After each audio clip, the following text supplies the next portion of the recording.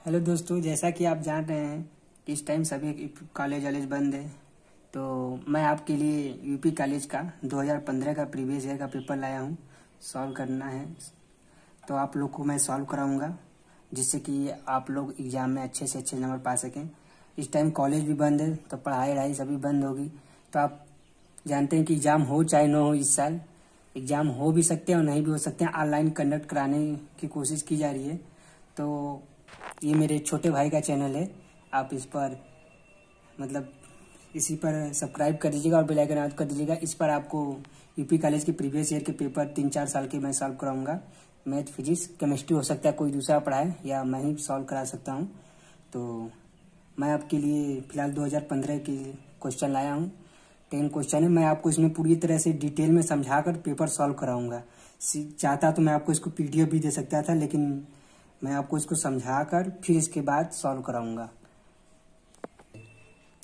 तो आइए शुरू करते हैं। देखिए, पहला क्वेश्चन आपका, देखिए 2015 का सेकंड पेपर मैंने लिया हुआ है कैलकुलस का। आपका इसमें जो पहला क्वेश्चन है शॉर्ट क्वेश्चन पूछा जाता है आपका पहला, जिसमें दस क्वेश्चन होते हैं टेन नंबर के होते हैं।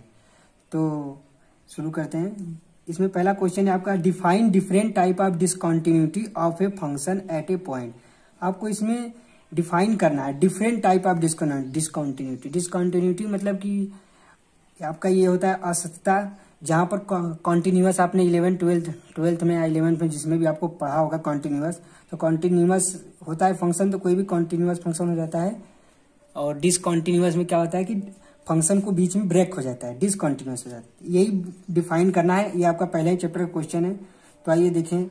इसका हिंदी में कहते हैं, एक बिंदु पर फलन के विभिन्न प्रकार की असतताओं को परिभाषित कीजिए।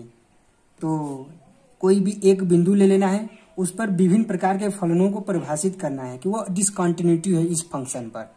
तो मैंने यहाँ पर डिसकॉन्टिन्यूटी का परिभाषा लिख दिया है, इसको आप लर्न कर सकते हैं। खैर, ये डिसकॉन्टिन्यूटी का परिभाषा तो पूछा नहीं है, इसमें आपको टाइप्स ऑफ़ डिसकॉन्टिन्यूटी पूछा है। देखिए, लिखा है ना टाइप्स ऑफ़ डिसकॉन्टिन्यूटी और एक ही फ़ंक्शन पर बताना है विभिन्न प्रकार के। तो मैंने यहाँ पर एक ही फ़ंक्शन लिया है तो मैं आपको समझाने की कोशिश करता हूँ। डिसकंटिन्यूटी का परिभाषा लिख कर याद कर लीजिएगा, इसमें कुछ नहीं। If a function is not continuous at point A कोई भी फ़ंक्शन है जो कि पॉइंट ए पर क्या है? कॉन्टिन्यूअस नहीं है। That is called discontinuous at the point and that point is called point of discontinuity of the function और जो ये पॉइंट है, उसी को ही डिसकंटिन्यूटी फ़ंक्शन कहते हैं। एक फ़ंक्शन ले लिया ए जो कि नॉट कॉन्टिन्यूअस है। और ये इसी पॉइंट पर क्या है? इसका इसी पॉइंट को ही डिसकंटिन्यूटी फ़ंक्शन भी कहते हैं। तो इसमें टाइप्स ऑफ़ डिस्कनेक्टिव में आपको पहला आपको मिलता है रिमूवल डिस्कनेक्टिव यहाँ से आपका पेपर सॉल्व होना चालू करता है सोल्यूशन यहाँ से। ये यह आप याद कर लीजिएगा। पेपर में आपको टाइप्स ऑफ़ डिस्कनेक्टिव पूछा तो यही पहला आपका रिमूवल डिस्कनेक्टिव डिस्कॉन्टिन्यूटी तो इसमें आपको ये function of F is set to be removal discontinuity at a point A देखिए मैंने एक ही पॉइंट लिया एट ए पॉइंट क्योंकि ये बोला है एक पॉइंट लेकर ही करना। तो मैंने पॉइंट एक फ़ंक्शन ले लिया जो कि पॉइंट ए पर क्या करता है? डिसकंटिन्यूटी है। मतलब पॉइंट ए पर ये ब्रेकेबल है। Limit X tends to zero exist but not equal to F A अब ये रिमूवल डिसकंटिन्यूटी क्या है? Limit X tends to zero F X पर क्या है? ये डिसकंटिन्यूटी है। आप रिमूवल डिसकंटिन्यूटी जानते हैं? नहीं जानते हैं तो कोई बात नहीं, मैं आपको समझा देता हूँ। रिमूवल डिसकंटिन्यूटी क्या होता है? रिमूवल डिसकंटिन्यूटी का मैं यहाँ पर एक एग्ज़ाम्पल ले लेता हूँ। देखिए, ये कोई फ़ंक्शन है, कोई क्वेश्चन मैंने क्वेश्चन ले लिया है कि होता है। आपको बस रिमूवल डिस्कनिटी में इतना ही लिखना है। मैं आपको क्वेश्चन बता देता हूँ किस तरह से इसका क्वेश्चन मिलेगा करना है।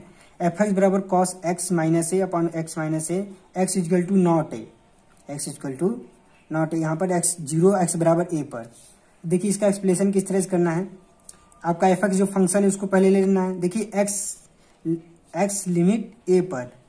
एक्स ए पर क्या है इसका? Cos X minus A X minus यहाँ पर ए जब पुट करेंगे तो ए माइनस ए कितना हो जाएगा? ज़ीरो अपान में ए माइनस ए कितना हो जाएगा? ज़ीरो तो कॉस ज़ीरो डिग्री का मान वन होता है। कॉस ज़ीरो डिग्री का मान वन होता है और यहाँ पर पुट करेंगे तो ज़ीरो देगा। तो ये आपका फ़ंक्शन कितना आ जाएगा? कॉस यहाँ पर ए रखेंगे जैसे ज़ीरो आ जाएगा। यहाँ पर ए नहीं रहेगा। यहाँ पर ए नहीं रहेगा। यहाँ पर आपका एक्स और ए नहीं रहेगा। ठीक? तो ए रखेंगे तो कितना आएगा? A minus A zero cos zero कितने पर डिग्री दे रहा है? वन रख रहा है। तो यहाँ पर आपको बोला है कि जब x बराबर ए रखेंगे तो हमें क्या मिलेगा? ज़ीरो मिलेगा। लेकिन यहाँ पर x बराबर ए रखने पर आपको क्या मिल रहा है? वन मिल रहा है। ये मैंने अपने से एग्ज़ाम्पल बनाया हुआ है। रिमूवल कॉन्टिन्यूटी आपको समझाने का कि क्या होता है। तो यहाँ पर ए रखेंगे तो कॉस ज़ीरो मिलेगा। कॉस ज़ीरो डिग्री का मान वन होता है। जबकि यहाँ पर एक्स बराबर ए रखने पर क्या मिला? तो ज़ीरो तो हम रिमूवल का मतलब होता है कि फ़ंक्शन को रिमूव कर दो। यहाँ पर ज़ीरो रिमूव करके क्या, एक रख दे तो आपका रिमूवल आपका ये कॉन्टिन्यूटी बदल जाएगा।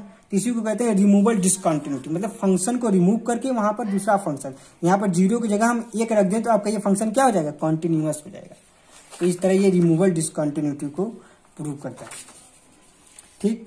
इसका आप ये समझ लीजिए। इसमें आपको बोला types of discontinuity types of discontinuity में पहला रिमूवल डिस्कॉन्टिन्यूटी आता है। सेकेंड आता है discontinuity of the first kind ये क्या होता है? इसमें आपका लिमिट तो वेरिएबल करेगा, लेकिन लिमिट तो एग्जिस्ट करेगा बट वो इक्वल नहीं होगा। देखिए, अब function F is set to be have discontinuity of first kind at a point A कोई पॉइंट ए है जिस पर कि क्या है? फ़ंक्शन क्या है? डिसकॉन्टिन्यूटी है।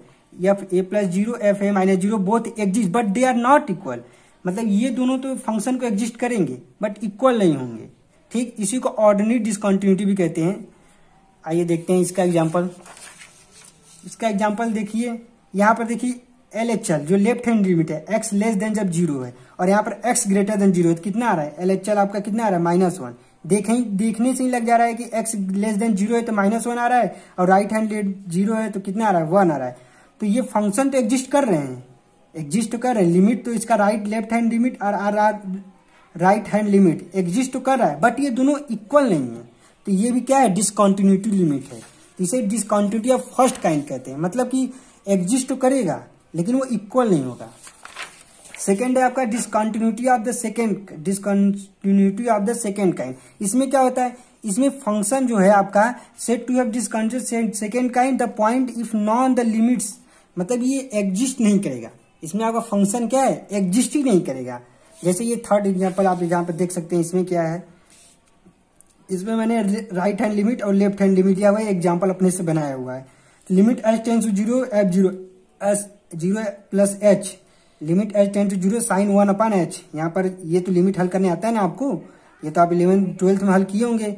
कि लिमिट राइट हैंड में limit H to zero zero plus H लिखा था जो फ़ंक्शन होता है, उसको बाद लिख देते हैं। उसके बाद एच के, यहाँ पर एच का मान लिख देते हैं।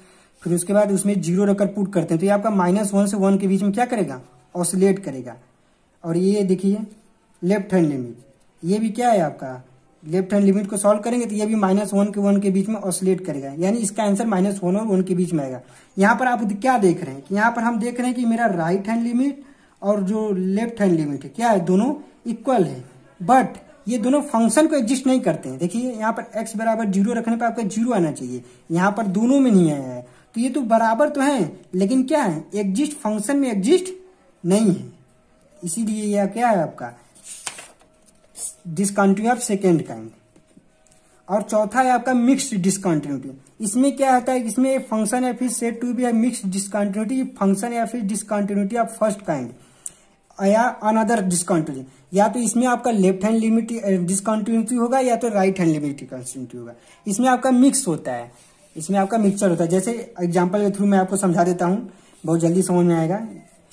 देखिए, मैंने अपने से फ़ंक्शन कोई लिया हुआ है X square X less than zero है और cos X X greater than zero है। इसमें देखिए आपका एक्स लेस देन जो ज़ीरो है या एक्स इक्वल टू ज़ीरो है, जब इसमें रखेंगे तो ज़ीरो ही देगा मान। तो ये आपका एक्स स्क्वायर क्या हो जाएगा? कॉन्टिन्यूस हो जाएगा लेस देन रखने पर। लेकिन यहाँ पर जब रखेंगे हम है एक्स इक्वल टू ज़ीरो तो आपका क्या है? डिसकॉन्टिन्यूटी बताएगा। क्यों? इसमें जब रखेंगे तो आपका ये माइनस वन के बीच वन के बीच में क्या करेगा? डिस क्या करेगा? डिसकॉन्टिन्यूटी बताएगा, जब इसमें ज़ीरो रखेंगे। तो ये क्या हो जाएगा? मिक्स डिसकॉन्टिन्यूटी जाएगा। या तो इसमें लेफ़्ट हैंड लिमिट इक्वल नहीं आएगा, या तो right hand limit limit equal नहीं आएगा तो आपका ये, इस हिसाब से ये आपका मिक्स डिसकंटिन्यूटी कहलाता है। तो तो क्या आप देख रहे हैं कि आप जैसे कि डिसकंटिन्यूटी आप समझ गए हैं तो आप पूछ रहे, पूछेंगे कि सर क्या एक नंबर का क्वेश्चन आप इतना लंबा लिखेंगे? नहीं भाई, ये आपको देखिए पूछा क्या है define a different type of discontinuity at a point तो आपको बस डिफाइन करना है डिफरेंट टाइप पर। तो आपको वन टू थ्री फोर बस, ये फोर लिखा है। इनफाइनाइट डिस्कॉन्टिटी में कुछ नहीं है। ये इनफाइनाइट है, ये आपको नहीं जानना है। टेंशन मत लीजिए। आपको ये चार बस लिख देना है। इसका ये परिभाषा मत लिखिएगा एग्ज़ाम मतलब ये डिफिनेशन मत लिखिएगा। बस, ये आपका डिस्कॉन्टिटी पर एक क्वेश्चन हो गया एक नंबर का। इतना मैंने आपको पूरी तरह से समझाने की पूरी कोशिश की है। आपको नाइन्टी परसेंट तो समझ में आ गया होगा तो आप इसको याद करने में आपको आसानी होगी। तो आप फ़र्स्ट क्वेश्चन इस तरह से कर लेंगे। आइए देखते हैं इसका सेकेंड क्वेश्चन सेकेंड क्वेश्चन में पूछा है आपका find the left hand derivative of the flying function at X बराबर ज़ीरो आपको एक फ़ंक्शन दे दिया, इसका लेफ़्ट हैंड डेरिवेटिव निकालना है। Left hand derivative right hand derivative दोनों निकाला जाता है, लेकिन इसमें आपको लेफ़्ट हैंड डेरिवेटिव बोला है। ये भी आपका दूसरा क्वेश्चन है फ़र्स्ट क्वेश्चन का, ये भी एक नंबर का है। लेफ़्ट हैंड डेरिवेटिव तो आप निकाल ही लेंगे इलेवेंथ ट्वेल्थ में पढ़ाई हुआ फिर भी मैं आपको बता देता हूँ। लेफ़्ट हैंड डेरिवेटिव निकालने के limit H tends to zero लिया जाता है, फिर इसके बाद F zero minus H minus F zero minus H इसमें आपको क्या करना पड़ता है? फिर एच ज़ीरो जब यहाँ पर इसको सॉल्व करेंगे तो F minus F minus H आएगा, फिर F minus zero upon minus H तो यहाँ पर जो फ़ंक्शन है एच की जगह जहाँ एक्स है, वहाँ एच हो जाता है। तो minus H tan inverse H हो जाएगा एक्स के जगह पर। फिर यहाँ पर एच टेन टू ज़ीरो रख देते हैं और एच का मान कितना है? ज़ीरो है। तो tan zero tan inverse zero zero degree इसका टेन ज़ीरो डिग्री का मान कितना होता है? ज़ीरो। तो टेन इनवर्स टेन कट जाएगा, ज़ीरो डिग्री आ जाएगा। ये तो खैर ट्वेल्थ का क्वेश्चन ही था। अब इसको सॉल्व सॉल्व कर दीजिएगा। अब लिखा है, तीसरा क्वेश्चन देखिए write formula for radius of curvature in the pedal form अब तीसरा क्वेश्चन जो आपका है, इसमें आपको फार्मूला लिखना है किसका? कर्वेचर का, जो कि पेडल फॉर्म में हो। तो पेडल फॉर्म में जो कर्वेचर का जो फार्मूला होता है, आपका ये होता है रो जहाँ पर रो और रो जो है आपका पेडल फॉर्म होता है। कर्वेचर का रेडियस ऑफ़ कर्वेचर का पेडल फॉर्म होता है। और जहाँ पर पी आपका क्या होता है? आर साइन थीटा आर क्या है? आर आपका रेडियस है। रेडियस ऑफ़ कर्वेचर लिखा है ना rho is the radius of curvature the pedal form for radius is given मतलब आर आपको दिया होगा, ये रेडियस ऑफ़ कर्वेचर है। और पी बराबर आर साइन थीटा होता है। तो इस तरह ये डायरेक्टली फार्मूला पूछा है तो आपको डायरेक्टली फार्मूला लर्न करना है। ज़्यादा दिमाग नहीं लगाना है इसमें खर्च करना है। क्वेश्चन आएगा तो मैं आपको क्वेश्चन बताऊँगा। ठीक? तो ये आपका तीन क्वेश्चन हो गया। एक एक नंबर का। चौथा क्वेश्चन आइए देखते हैं। चौथा क्वेश्चन जो आपका यूपी कॉलेज में पूछा गया है find the degree of the flying function तो ये भी एक नंबर का ही क्वेश्चन है। इसमें आपको डिग्री करना है तो इसमें आपको कुछ नहीं करना है। दोनों को घात पावर जो है, उसका डिफरेंस निकाल देना है। One upon six minus one upon five कितना आ जाएगा? इसका एल्सियम लेंगे। थर्टी इसका इसमें five minus six sorry five ठीक है। Six minus one upon thirty तो ये प्लस में ही आएगा। वन अपान थर्टी तो इन दोनों का डिफरेंस निकाल देना है। सॉरी लगता है गलत हो गया। ऊपर ऊपर का नीचे वाले में डिफरेंस निकालना है। क्या करना है? ऊपर का नीचे वाले में डिफरेंस निकालना है। तो one upon five minus one upon six इस तरह से। तो इसका हल करेंगे। कितना आएगा thirty five six six minus five one upon thirty अब सही है। तो ये इसका आंसर आ गया।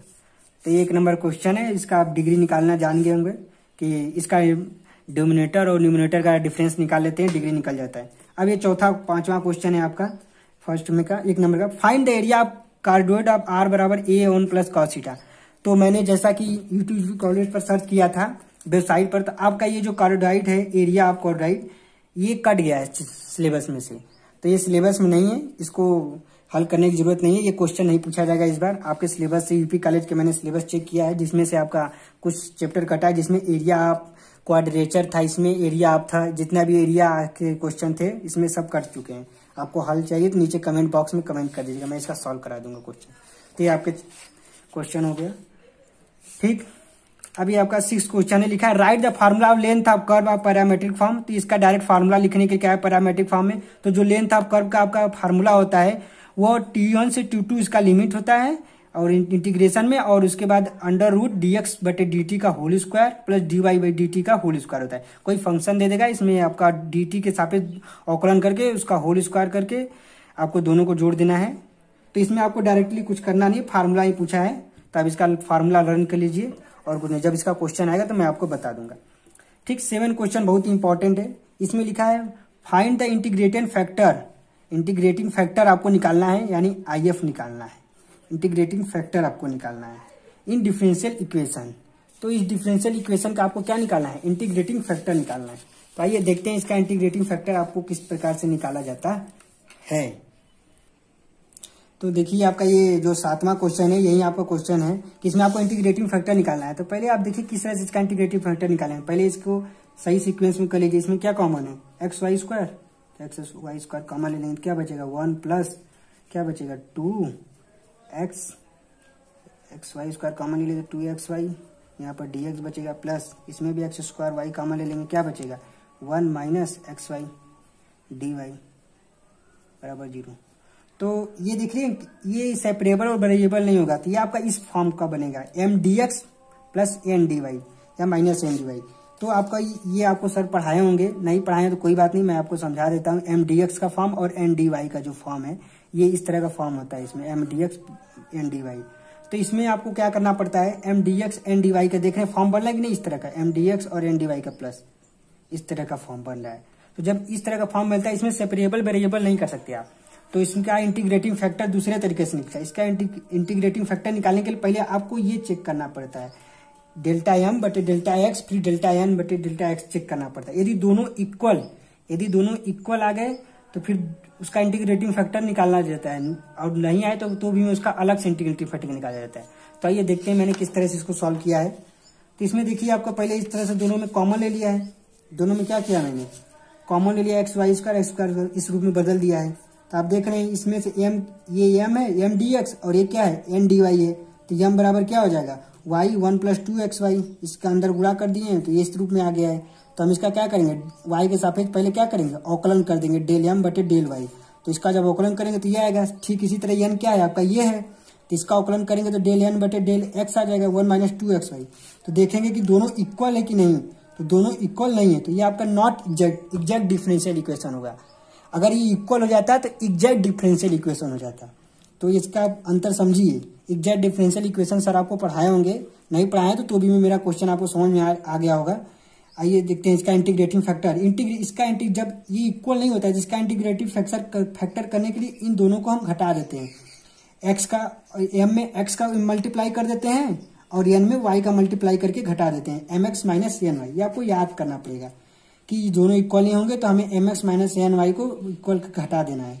तो देखिए मैंने यहाँ पर घटाया हुआ है। एम आपका ये y plus two x two x square two x y है तो इसमें मैंने एक्स का मल्टीप्लाई किया तो x y plus two x square y square और माइनस एन वाई और एन जो है आपका ये तो इसमें मैंने वाई का मल्टीप्लाई करके घटाया तो मेरा कितना आया? थ्री एक्स वाई स्क्वायर तो जो, जब इसको घटाएँगे तो आपका इंटीग्रेटिंग फैक्टर आ जाएगा। इंटीग्रेटिंग फैक्टर आपका जब आ जाएगा तो one upon m x minus minus n y आ जाएगा, जो कि आपका कितना है? One upon three x y square तो इस तरह के फ़ंक्शन को आप इस तरह इस तरह के फ़ंक्शन को आपको पहचानना पड़ेगा कि ये इस फॉर्म का बन रहा है कि नहीं। देखिए आप देखने में लग जा रहा है कि m d x and n d y का फॉर्म बना है, जिसे एग्जैक्ट डिफरेंशियल इक्वेशन कहते हैं। तो ये आपका क्वेश्चन हो गया।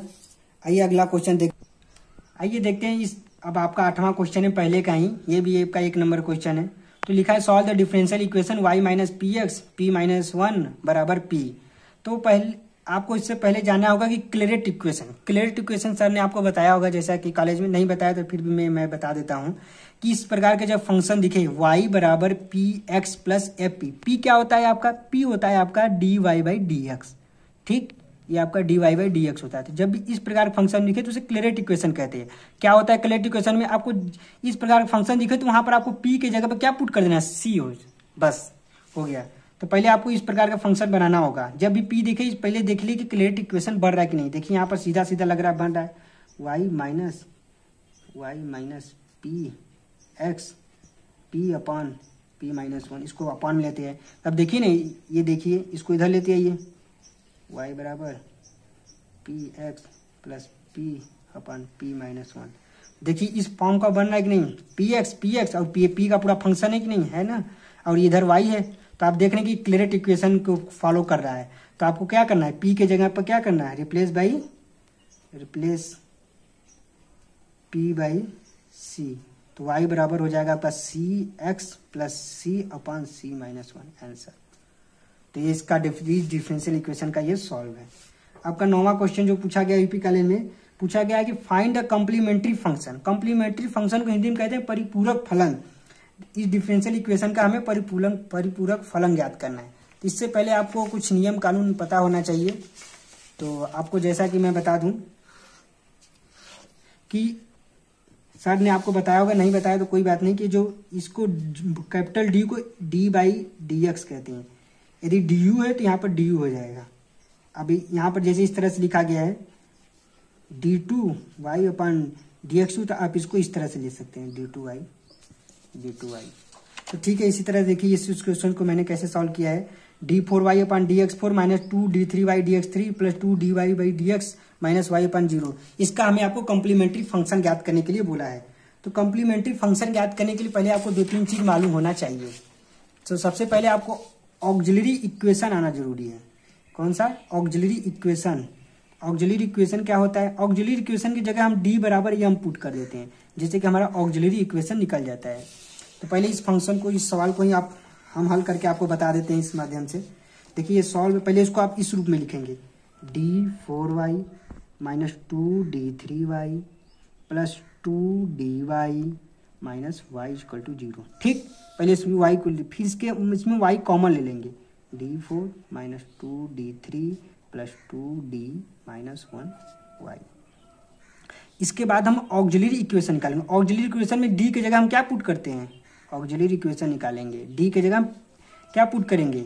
यम तो m four minus two m three plus two m minus one और इक्वल टू ज़ीरो कर देंगे। तो इसका हम गुणनखंड कर लेंगे। गुणनखंड करने के बाद इसका हम क्या करेंगे? यहाँ से इसका रूट निकालेंगे।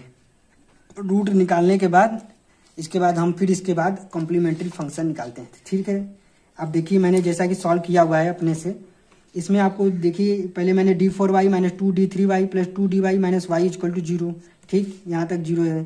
फिर उसके बाद मैंने डी फोर वाई इसमें वाई कॉमन ले लिया। फिर मैंने ऑक्जुलरी इक्वेशन निकाला। इसे ऑक्जुलरी इक्वेशन कहते हैं। ऑक्जुलरी इक्वेशन पता है कि इसमें डी की जगह पर हम यम पुट करते हैं। तो मैंने यहाँ पर यम पुट कर दिया। डी के जगह पर देख सकते हैं आप। ठीक, इस तरह मैंने इसका गुणनखंड के लिए गुणनखंड करने आता है आपको, जैसा कि आप पढ़े होंगे नौ दस में। इसमें देखिए वन पुट करेंगे तो कितना आ जाएगा? ज़ीरो आ जाएगा। तो इस तरह से। वन पुट करेंगे तो कितना आएगा? One minus two, one minus two plus two minus one. तो इसको पुट करेंगे, ज़ीरो आ जाएगा। तो इसका गुणनखंड क्या हो जाएगा? M minus one. ठीक, यहाँ पर मैंने भाग देकर किया हुआ है। गुणनखंड करने तो आपको आता ही होगा। तो फिर इसका भी, फिर इसके बाद ये आएगा मेरा। फिर इसके बाद फिर इसका गुणनखंड किया मैंने तो ये तीन फॉर्म मिला। तो मुझे ये तीन रूट चार रूट मिले। क्योंकि इसके हाईएस्ट पावर कितनी है? फोर तो किसके कितने रूट मिलेंगे? चार। तो चार रूट मिल गए। तो इसके बाद देखिए कम्प्लीमेंट्री फ़ंक्शन के लिए आपको पता रहना चाहिए कि कम्प्लीमेंट्री फ़ंक्शन निकलता कम्प्लीमेंट्री फ़ंक्शन निकलता कैसे है। तो कम्प्लीमेंट्री फ़ंक्शन के लिए आइए मैं बताता हूँ कैसे निकाला जाता है। जब भी देखिए इसमें नियम होता है कि जब भी कम्प्लीमेंट्री फ़ंक्शन में रूट अगर इक्वल आ जाए, जैसे मेरे दो और तीन रूट आ गए, दो और दो रूट आ गए इक्वल आ गए तो मैं इसको इस तरह से लिखता हूँ। C one plus c two x e two two हो जाएगा। ई e के पावर में लिखा जाता है ये। ई e के पावर में टू एक्स ठीक? आपके दो रूट आ गए। यदि आपका अलग अलग रूट आ गए, मान चलिए एक, दो, तीन, चार अलग अलग रूट आ गए तो इस तरह से आप लिखेंगे सी वन ई के power x plus c two e के power two x plus three three e के power three x plus c four e के पावर फोर एक्स ठीक? तो इस तरह से आप इस तरह से आप कॉम्प्लीमेंट्री फ़ंक्शन निकलता है। तो देखिए, मेरा क्या आया था? मेरा आकर, मेरा फोर चार रूट आए थे ना? क्या आए थे? वन माइनस वन क्या आए थे? देख लेते हैं। One minus one plus one minus one. यही चार रूट मेरे आए थे तो कैसे दो रूट देख रहे हैं? बराबर बराबर है। One one minus one. तो इसको इस तरह से लिखते हैं। C one plus c two e की power x plus c three plus c four e के पावर माइनस एक्स ठीक, मैंने कहा था ना, दो रूट को माइनस वाले को साथ में लिखते हैं और प्लस वाले को साथ में लिखते हैं। इस तरह से ये कॉम्प्लीमेंट्री फ़ंक्शन मैंने निकाला हुआ यहाँ पर देख सकते हैं। फिर से एक बार मैं बता देता हूँ, यहाँ पर d four y two d three two d y minus y फिर डी के जगह पर हम यम पुट करेंगे, यम पुट करने के बाद इसका गुणनखंड करेंगे गुणनखंड करने के बाद कॉम्प्लीमेंट्री फ़ंक्शन में देखेंगे कि रूट मेरे किस तरह से आ रहे हैं। रूट इक्वल आ रहे हैं तो c one plus c two x e के power m one x plus c three plus c four m x m e के पावर एम टू एक्स कर देते हैं, इस रूप में लिख देते हैं। जहाँ यम क्या है यहाँ पर? यम आपका ये रूट है। देखिए एम वन की जगह मैंने क्या पुट किया? माइनस वन और एम टू की जगह क्या है? वन पुट किया है। यदि अलग अलग रूट आ गए, यहाँ पर अगर मेरे एक आते, दो आते, तीन आते तो मैं इस रूट इस तरह से लिखता है, एक, दो, तीन, चार। देखते हैं आपका दसवां क्वेश्चन क्या है। दसवां क्वेश्चन पूछा है find the particular integral of the flying differential equation इस डिफरेंशियल इक्वेशन दे दिया है, ये भी आपका एक नंबर का है, और इसका जो पिछला वाला क्वेश्चन था, ये भी आपका एक नंबर था। ठीक? तो आपका पिछला वाला क्वेश्चन यही है। तो इसको आप सॉल्व कर लीजिएगा, देखकर स्क्रीन ले लीजिएगा, नहीं तो। फिर आपका दसवां क्वेश्चन देखिए क्या है। इसमें आपको पार्टिकल इंटीग्रल निकालना है। पार्टिकल इंटीग्रल कैसे निकलता है? पार्टिकल इंटीग्रल निकालने के लिए आपको सर ने बताया होगा, नहीं बताया तो फिर भी मैं बता देता हूँ, थोड़ा सा हिंट दे देता हूँ किस किस प्रकार से आप पार्टिकुलर इंटीग्रल निकाल सकते हैं। तो पार्टिकल इंटीग्रल निकालने के लिए आपको देखिए, जब इधर ई के पावर एक्स दिया रहेगा, ठीक? इसमें दो तीन टाइप के होते हैं। तो मैं आपको एक ही टाइप बता रहा हूँ पहले, क्योंकि इसी टाइप का ये क्वेश्चन है। इधर आपका जब भी इक्वल टू की जगह ई e के पावर एक्स लिखे, तब आपको इस प्रकार से आपको पार्टिकल इंटीग्रल निकालना है। क्या? कि one upon f d e के पावर ए एक्स फिर ए का मान इस एफ़ डी में पुट कर देते हैं। तो ई e के एफ़ ए ई के पावर ए एक्स तो आइए देखते हैं किस प्रकार ए का मान और डी का मान कैसे पता करेंगे क्या है इसमें। तो पहले d two i by d x two इस क्वेश्चन देख लीजिए। ठीक पहले जैसे वाला है। इसको हम क्या लिख सकते हैं? D two y minus two a d y plus a square y बराबर ई के पावर एक्स ठीक? इस प्रकार लिख सकते हैं। फिर इसमें हम क्या करते हैं? वाई इसमें क्या करते हैं? कॉमन ले लेते हैं। तो क्या आ जाएगा? D square minus two a d plus a square auxiliary equation फिर निकालते हैं। ऑक्जिलरी इक्वेशन निकालने के लिए मैंने आपको बताया था डी के जगह पर क्या रिप्लेस कर देते हैं? रिप्लेस बाई यम तो आप यहाँ पर एम पुट करेंगे तो क्या आ जाएगा? M square minus two a m plus a square equal two क्या आ जाएगा? ज़ीरो तो देख रहे हैं एम माइनस ए का होल स्क्वायर है तो यहाँ का एम का मान क्या आ गया? रूट आपके कितने रूट आ गए? दो रूट आ गए। तो मैंने आपको अभी भी बताया था कॉम्प्लीमेंट्री फ़ंक्शन निकालने का। तो ये आपका इतना तक तो कॉम्प्लीमेंट्री फ़ंक्शन का मैंने बता दिया था कैसे निकलता है। अब कॉम्प्लीमेंट्री फ़ंक्शन के बाद क्या निकलता है? पार्टिकल इंटीग्रल निकलता है। कॉम्प्लीमेंट्री फ़ंक्शन के बाद ही पार्टिकल इंटीग्रल यहाँ तक तो मैंने आपको बताया ही था। अब अगले, देखिए इसमें आपको, देखिए इस क्वेश्चन में आपको पार्टिकल इंटीग्रल पूछना है। तो पार्टिकल इंटीग्रल के लिए पहले कॉम्प्लीमेंट्री फ़ंक्शन है, जो कि मैंने पिछली इसमें बता दिया है पिछले वाले में। तो आप पार्टिकल इंटीग्रल देखिए किस तरह निकालते हैं। इस वाला फॉर्म भरना है इसमें आपका, देखिए ई पावर एक्स वाला। तो वन अपान एफ़ करते हैं। आपका एफ़ डी क्या है? ये वाला फ़ंक्शन जो डी वाला फ़ंक्शन है, इसी को एफ़ डी कहते हैं। ठीक? ये जो डी है रिप्लेस करने से पहले जो डी है, यही आपको एफ़ डी है। तो यहाँ पर क्या हो जाएगा? D square minus two a d plus a square और ई e के पावर एक्स यहाँ पर ए क्या है? आपका वन है। इसमें वन पुट कर देंगे। एफ़ एफ़ पुट कर देंगे ना? यहाँ पर ए वाला इसमें पुट कर देंगे। तो one square minus two a plus a square ये देख रहे हैं वन माइनस ए का क्या है? होल स्क्वायर ई के पावर एक्स ये आपका पार्टिकुलर इंटीग्रल निकल गया। तो ये आपका पार्टिकुलर इंटीग्रल निकल सकता है।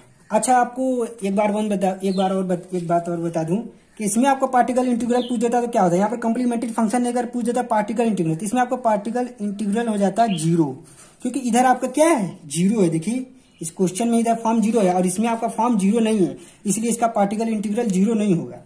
ठीक? इसका पार्टिकल इंटीग्रल निकालने के लिए one upon f d e के पावर एक्स एफ़ डी क्या है? ये है d square minus two a d जो मैंने वाई यहाँ से कॉमन लिया उसको उठाकर यहाँ पर रख देंगे। ई के पावर एक्स बगल में रख देंगे। ये वाला इधर वाला फ़ंक्शन यहाँ पर रख देंगे। और इसके जो मल्टीप्लाई में है गुणांक में है उसको यहाँ पर रख देंगे। जो आएगा वही उसका आपका आंसर ये भी आंसर हो सकता है आपका ये भी आंसर हो सकता है। तो ये आपका पार्टिकुलर इंटीग्रल निकलेगा और इसके डिफरेंशियल इक्वेशन का यदि सोल्यूशन पूछ दे तो आप इन दोनों को जोड़ दीजिएगा। ज़्यादातर पार्टिकल इंटीग्रल और कॉम्प्लीमेंट्री फ़ंक्शन पूछता है अगर सोल्यूशन पूछ देगा तो आपको कुछ नहीं करना पड़ेगा। इन दोनों को जोड़ दीजिएगा। तो आपका इस इस इस, इस डिफरेंशियल इक्वेशन का क्या निकल जाएगा? सोल्यूशन निकल जाएगा। मतलब पूरा पूरा हल। अभी तक तो ये भी ये भी आपका आधा ही हल है कॉम्प्लीमेंट्री फ़ंक्शन तो ये भी आपका, ये आपका पूरा हल नहीं हुआ है। इसको जब जब जोड़ देंगे ना, इन दोनों को आप यहाँ पर जोड़ देंगे तो आपका ये क्या निकल जाएगा? पूरा डिफरेंशियल इक्वेशन का सोल्यूशन निकल जाएगा। तो ये मैंने तीन क्वेश्चन कराए। मैंने पूरा अपना कोशिश किया कि आपको दसों क्वेश्चन समझ में आ जाए। तो हमारे वीडियो को लाइक कर दीजिएगा चैनल को ज़रूर सब्सक्राइब कर दीजिएगा, जिससे कि हमें हौसला मिले और मैं आपको अगले दिन कल मैं और वीडियो सॉल्व कल मैं और पेपर सॉल्व कराऊँगा।